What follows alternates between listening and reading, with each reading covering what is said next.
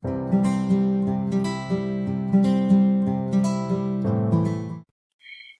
friends and hello guys. So in this video, I'll be teaching you on how to make or cite your references properly using APA or Chicago.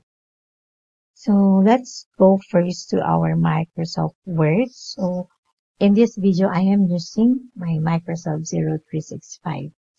Kasi kadalasan, nahihirapan tayo sa pag-cite ng mga references natin and uh, noon kasi is mano-mano yung ginagawa natin, encode natin, pinapollow natin talaga yung format. In here, with the use of the Microsoft Word 0365, is mas madali na lang. So, just click the references in here. And then, kita mo yung style dito. Magsiselect if it's Chicago style or APA. So, since ang nire-required sa amin is Chicago, yun na ituturo ko. So just click Chicago. And then, as you can see, this one, we have insert citation. Bibigyan kasi natin ng credit kung saan natin kinuha yung mga, mga, for example, mga nilagay natin sa ginawa natin. Then, author. Pag isa yung author mo, syempre, isa lang yung ilalagay mo. Uh, Villa Chen. Ah, ganyan. Pag dalawa naman, you put a semicolon, and then we have Villa, comma, Joseph. Ayan. Now, so what is the name of the web page? So, lagyan natin, International Web. And then, kailan nila sinulat ito, yung article na binasa mo, it's 2019. Limbawa lang po ito ha. For example, ito yung details natin. Ganito yung gagawin natin. Yan, kailan mo naman siya na-access o nabasa, anong taon, and what month. Yan. At saka yung day. At saan, anong URL mo siya nakita. So, ilagay mo rin doon. Kung sa URL, nakita mo sa pinakataas, pag ikaw ay nag-internet.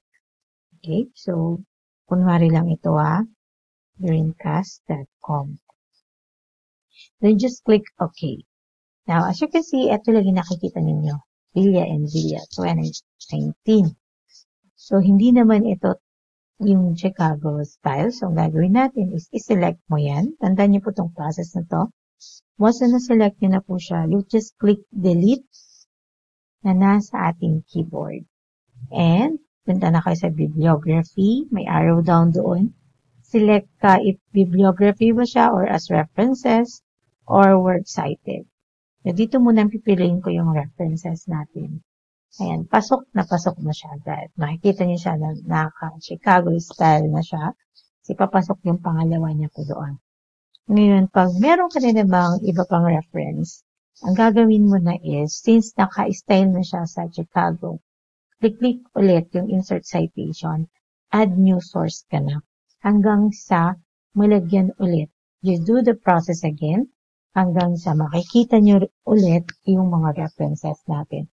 So, ganun lang po kadali kung paano natin pro properly cited yung mga credits natin na pinagkuhanan natin ng ating mga articles and yung mga ginamit natin para makabuo rin tayo ng ating mga um, output. So, yun lang po and I hope that you've learned something in this video. Thank you and God bless.